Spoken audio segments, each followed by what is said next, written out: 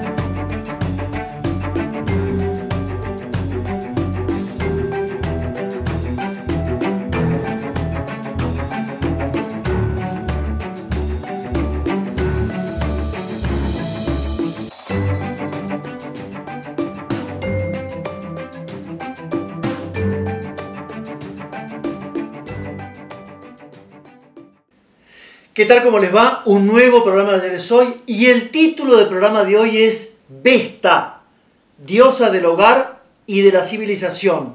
Bajo este título, señora, señor, un único tema de la agenda nacional.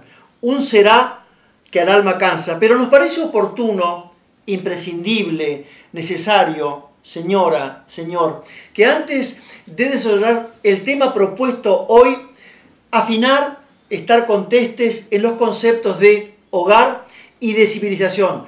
Porque si hogar es el ámbito dentro del cual los padres instruyen, guían, educan, cuidan, crían a sus hijos en la armonía, unidad y concordia familiar, civilización es el conjunto de ideas, de ciencias, de creencias, valores, principios y costumbres que caracterizan el estado político, económico, social, espiritual de una región, de una nación, de un grupo de naciones y hasta de un continente en determinada época de la historia. Y ahora sí, Vesta, diosa del hogar y de la civilización. Recuerda mucho mejor que yo, señora, señor, que Vesta para los romanos, Estía para los griegos, es una de las doce divinidades del Olimpo. Vesta es hija en la mitología greco-romana de los siguientes dioses, de Saturno Cronos, dios del tiempo, y de Cibeles. Y usted recuerda mejor que yo, señora, señor, que la diosa Cibeles no pertenece a la mitología greco-romana, que la diosa Cibeles pertenece a la mitología frigia y que la diosa Cibeles era llamada por los frigios allá en la pequeña Asia y en parte de Europa como la diosa madre o como madre de diosas o como la gran diosa del matrimonio de Saturno y Cibeles. En la mitología greco-romana nacieron los siguientes dioses. Júpiter, Plutón, Neptuno, Juno, Ceres y Vesta para los romanos, Estía para los griegos. Y también recuerda, señora, señor, que Estía para los romanos, Vesta para los, perdón, Estía para los griegos, Vesta para los romanos, que es la misma diosa, fue pretendida por los dioses Apolo y Neptuno.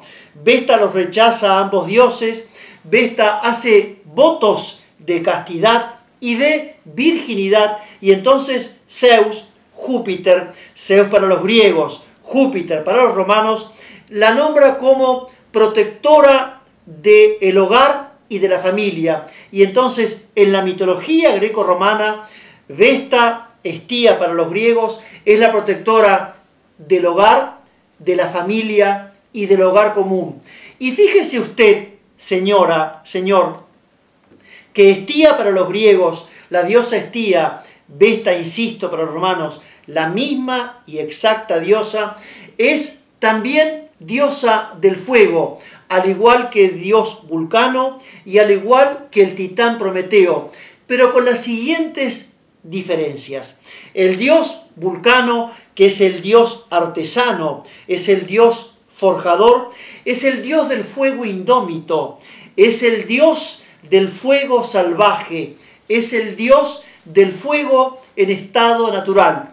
El titán Prometeo, que también es el dios del fuego, es aquel titán que en la mitología greco-romana le roba el secreto de cómo hacer el, el fuego perdón, a los dioses del Olimpo. Se lo entrega al hombre y entonces mediante este secreto de cómo hacer el fuego, el hombre conoce nuevas técnicas, fabrica armas y además puede calentar su casa. Recordemos que por haber robado el fuego, el secreto del fuego a los dioses del Olimpo, el titán Prometeo es condenado a la eternidad donde un, águila le come el hígado y el hígado se renueva perpetuamente. Volvemos a hacer alguna vez un programa sobre el titán Prometeo. Pero la diosa Vesta, para los romanos, Estía para los griegos, no solamente es la diosa del fuego, sino que es diosa del fuego del altar mediante el cual se honra a los dioses y es diosa del fuego del hogar que protege al hombre. Y en ese hogar el hombre mediante el fuego puede darse calor, puede abrigarse, puede cocinar sus alimentos y ese fuego además no solamente cuida y protege el hogar, sino que cuida y protege la unidad familiar. El fuego en las diferentes concepciones mitológicas indoeuropeas recibe diferentes nombres. ¿Recuerda usted, señora, señor, que allá por el siglo IX a.C., Homero en su Ilíada no menciona el fuego, pero sí lo hace en sus teogonías y cosmogonías Hesíodo, en el siglo VIII antes de Cristo. Y en esta mitología, en esta concepción mitológica greco-romana, no solamente Vesta es diosa del hogar, de la familia, en torno al cual se reúne la familia, ese hogar, sino que también diosa Vesta representa un lugar permanente, una morada estable ese lugar permanente, ese hogar permanente, esa morada estable, ese entorno al cual se reúne el clan familiar, se protege la estirpe familiar. Y en torno a ese lugar permanente, en torno a esa morada estable, la familia celebra sus fiestas, la familia celebra sus ritos de nacimiento, de matrimonio y de muerte. Y además, en torno a esa morada estable que protege Vesta, en torno a ese lugar permanente que protege Vesta, la familia reúne o recibe, mejor dicho, a los huéspedes, a los amigos, a los extranjeros, a los caminantes y hasta los mendigos. Pero la diosa Vesta para los romanos o Estía para los griegos no solamente protege el hogar familiar, no solamente protege la morada estable, sino, señora, señor, también protege lo que llamaban los griegos y los romanos al hogar común. Porque al hogar común Grecia lo llamó polis. Porque al hogar común Roma lo llamó civitas. Es lo que conocemos de un tiempo a esta parte con el nombre de patria. Para los romanos llamaba polis. Para los griegos, perdón, para los romanos Civitas, para los griegos polis y para nosotros patria. Y fíjese usted, señora, señor, que el Pritaneo en Grecia era aquel lugar no solamente donde se desarrollaban las audiencias de los tribunales judiciales, sino que también el Pritaneo era el lugar donde se custodiaba el fuego sagrado de la diosa Estía, porque ese fuego sagrado custodiaba, cuidaba, protegía el hogar común, insisto, llamado polis para los griegos, civitas para los romanos. Y cuando los griegos, allá por el siglo VIII antes de Cristo, emprenden la llamada colonización que fue denominada Magna Grecia. Hay una Magna Grecia del Este cuyas colonias llegan hasta el mismo Ponto Euxino, que hoy lo conocemos como Mar Negro, y una Magna Grecia del Oeste, cuando las colonias griegas se asientan en Sicilia, en gran parte de Italia, en Francia, y llegan hasta el Océano Atlántico, allá en la tan directa, y querida España. Magna Gracia del Este y Magna Grecia del Oeste. Y cuando los griegos fundaban una ciudad nueva, llámese, insisto, en la Magna Grecia del Este o en la Magna Grecia del Oeste, llevaban el fuego sagrado, llevaban a la diosa, simbolizado por este fuego sagrado, a la diosa Estía, y entonces entronizaban en la ciudad nueva fundada este fuego sagrado que custodiaba, que protegía la unidad y permanencia de esta nueva ciudad. Y entonces el culto, de la estía griega, esta diosa griega, es introducido en Roma por el segundo rey cuyo nombre es, recuerda, señora, señor, fue Numa Pompilio. Porque si el primer rey fue Rómulo, el segundo rey en la leyenda de los reyes que gobernaron Roma fue Numa Pompilio. Y Numa Pompilio, segundo rey, introduce el culto religioso y entonces asimila la diosa griega Estía romana a la eh, griega, perdón, a la Vesta romana. Y entonces la Estía griega y la Vesta romana pasan a tener un único y exacto culto. Numa Pompilio le levanta un templo en honor de la diosa Vesta. Numa Pompilio, segundo rey romano, instituye las vestales. Las vestales eran fiestas que se celebraban en Roma allá por el 700 a.C. con gran pompa, con gran júbilo, en honor de las sacerdotisas vestales. Y también el rey Numa Pompilio instituye el colegio de las vestales, que era aquel colegio al cual ingresaban aquellas niñas entre 6 y 10 años que aspiraban a ser sacerdotisas de la diosa Vesta romana. Y entonces estaban 10 años como ayudantes, 10 años como oficiales y 10 años como directoras y docentes. Durante esos 30 años hacían voto de castidad, voto de virginidad y tenían la obligación, la sacerdotisa vestal, de custodiar, de cuidar el fuego sagrado que protegía la identidad de Roma. Cuando Marco Tulio Cicerón, abogado, senador, filósofo, orador romano, 106 a.C., 43 a.C., comprendió que de manera irreversible la República Romana agonizaba en una guerra civil que no tenía fin. En un baño de sangre, así invocó a la diosa Vesta romana de la siguiente manera.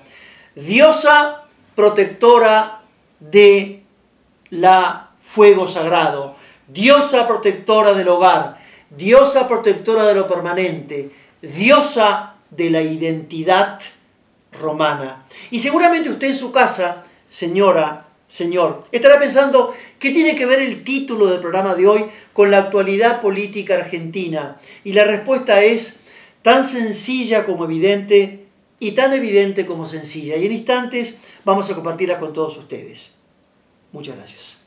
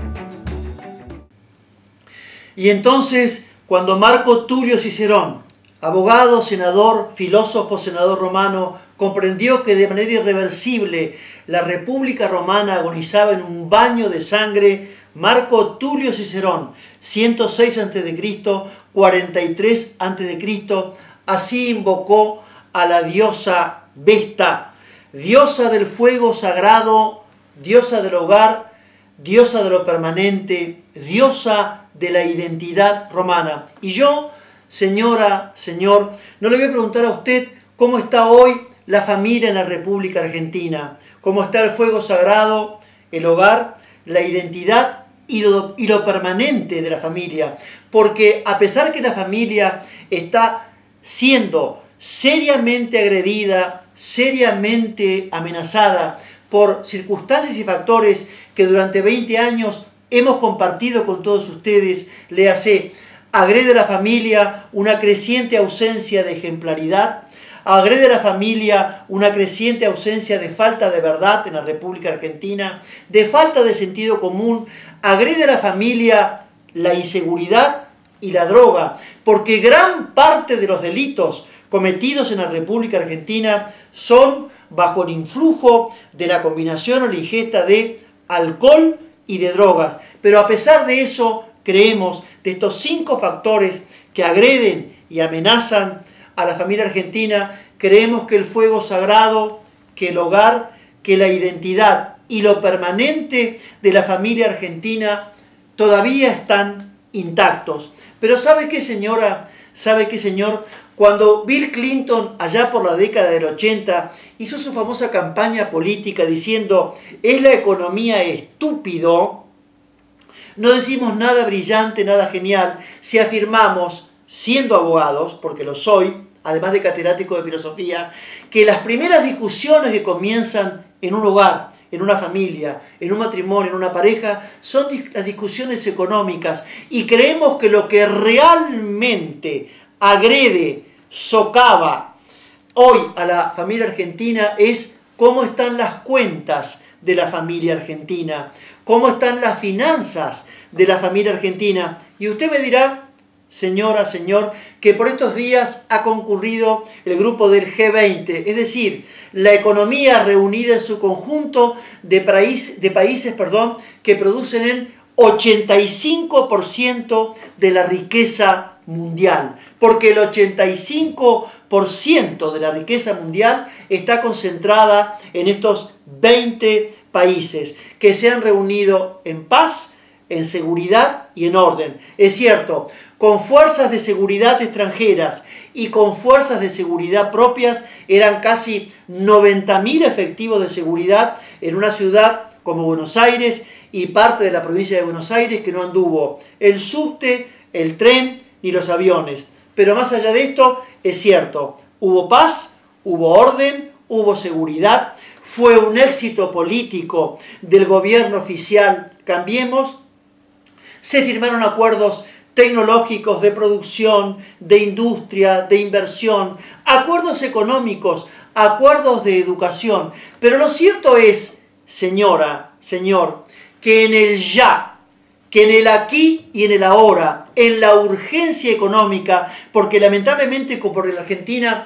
hace muchas décadas que no tenemos estadistas, tenemos nada más que políticos y estamos aburridos de decir que mientras el político trabaja devorado por lo urgente y divorciado de lo importante, el estadista hace de lo urgente una circunstancia política y de lo importante una política de Estado el tiempo económico, el tiempo político de los últimos casi 30 años de la Argentina es la urgencia, es el ya, es el aquí y el ahora, es la desesperación. En esos tiempos de presente, como los animales y como los chicos y como los irresponsables que solo viven nada más que a presente, las cuentas de la familia argentina no han variado.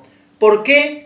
Señora, Señor, digo algo que le pasa a ustedes y que le pasa a la mayoría, a la inmensa mayoría de la República Argentina. Las cuentas de servicios públicos, le hace de gas, teléfono, luz, impuestos son asfixiantes, son impagables, son incobrables. La familia argentina no tiene poder de compra en su inmensa mayoría. La pequeña y mediana empresa agoniza en su inmensa mayoría. Y cuando en el programa próximo pasado decíamos que el barril de petróleo había bajado un 45%, acá en la República Argentina han bajado las naftas no un 45%, han bajado 45 centavos. Yo le pregunto a usted, señor presidente don Mauricio Macri, y a su inolvidable, entre comillas, equipo de economía, como en su momento se lo decíamos, al populismo mesiánico de los Kirchner. ¿Ustedes creen que la Argentina y que los argentinos somos un gran club de estúpidos? Nos toman por estúpidos han bajado un 45 centavos cuando el barril de petróleo ha bajado un 45%. Y entonces felicitamos el éxito político de su gobierno oficial de Cambiemos. Vino el G20, pero ¿sabe qué? Señor presidente don Mauricio Macri, sus promesas, después de tres años de fracaso rotundo y completo de su, de su política económica, sus promesas son un será que al alma cansa. Hacemos la última pausa y enseguida volvemos. Muchas gracias. Y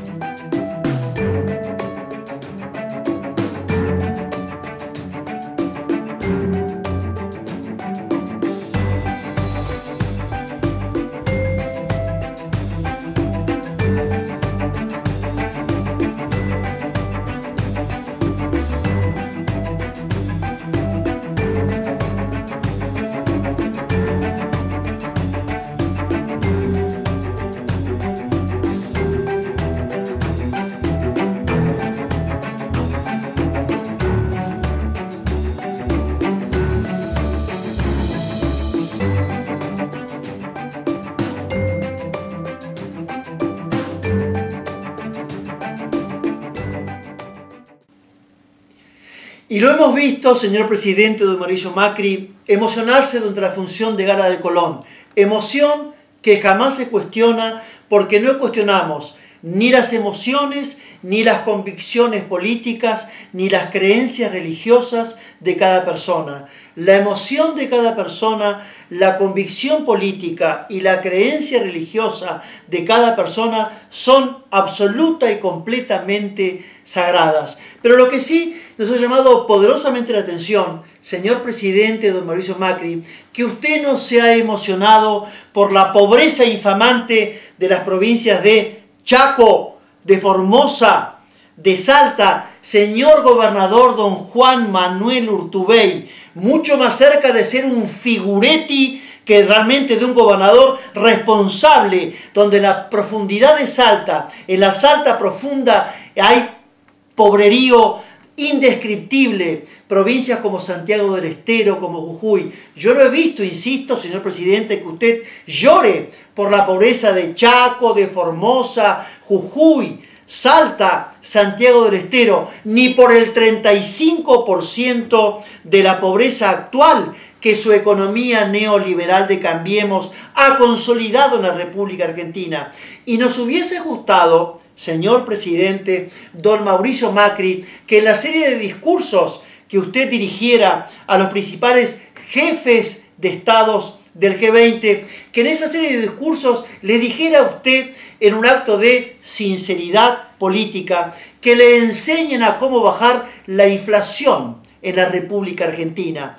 Que los integrantes del G20 le enseñen cómo bajar los impuestos en la República Argentina, cómo bajar la pobreza. Porque si bien es cierto que los líderes del mundo, los principales líderes del mundo, en su conjunto lo felicitaron aquí en la República Argentina, es mucho más cierto que gran parte de esos países le dejaron de prestar y por ese motivo, por el fracaso de su política económica, señor presidente don Mauricio Macri tuvo que recurrir al Fondo Monetario Internacional. Parece un cronista después de tres años, donde ya lleva tres años de fracaso económico. Y de un gran tiempo esta parte, señora, señor, nosotros a nivel municipal, a nivel provincial y a nivel nacional, venimos solicitando una política de prevención de ingesta de alcohol, de droga y de pastillas, porque entre los jóvenes de 12 a 25 años la ingesta de alcohol, de droga y de pastillas no solamente no les permite una educación sana, una vida sana, sino que compromete seriamente su estabilidad psicológica, emocional, afectiva, individual y hasta familiar. Y también, como en Argentina todavía no ha recuperado el orden, no ha recuperado la paciencia, no hemos recuperado el sentido común y la ejemplaridad, nosotros hace mucho tiempo insistimos que en el todos los días, en la vereda, en su casa, señora, en su hogar, señor, en el colegio, en la escuela, en la universidad, en el trabajo, el uso de las cinco palabras mágicas. Buen día, por favor, perdón, permiso y muchas gracias. Y como desde siempre decimos, nada genial, nada brillante, la mujer es la segunda educación del hombre, le pedimos más que nunca, de un gran tiempo a esta parte, a la mujer argentina, su actitud inteligente, su palabra inteligente, su consejo inteligente. Y no, no pedimos, les rogamos que no sean feministas, que sean femeninas. Y les rogamos mucho más que no pierdan nunca el corazón de mamá, porque es aquello que una mujer nunca debe perder, el corazón de mamá. Pero que no hable más el doctor Moreno Seguidet, que era la filosofía clásica, clásica por lo clara, clásica por lo sencilla y clásica por lo actual, porque lo actual como lo clásico nunca pasa de moda. Hoy va a hablar el gaucho Martín Fierro. ¿Cuándo Martín Fierro es José Hernández y cuándo José Hernández es Martín Fierro? ¿Cuándo Quijote es Cervantes y cuándo Cervantes es Quijote? Es que en el alma de estos escritores parece que vive como su propio trono un Quijote y un Martín Fierro. En la pluma inmortal de don José Hernández, segunda parte, canto 33, estrofa 8, cuando el gaucho Martín Fierro se vuelve un gaucho sabio, un gaucho prudente, cuando se está despidiendo luego de aconsejar a sus dos hijos y al hijo de Cruz, insisto, en la segunda parte canto 33, estrofa octava, así habla el gaucho Martín Fierro en la brillante pluma de don José Hernández. Es el pobre en su orfandad de la fortuna el desecho, porque nadie toma pecho el defender a su raza. Debe el gaucho tener casa, escuela, iglesia y derechos. Y si la economía populista del decadente mesianismo de los Kirchner envileció el alma de la República Argentina, su economía neoliberal de rapacidad, de ganancia descarnada, ha empobrecido la República Argentina, señor presidente don Mauricio Macri. Sus promesas son, fueron y seguirán siendo un será que al alma cansa. Hasta la próxima y muchas, pero muchísimas gracias.